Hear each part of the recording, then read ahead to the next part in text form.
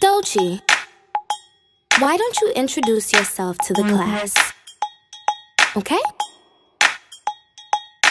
Hi, my name's Dolce with two eyes. I feel anxious when I'm high.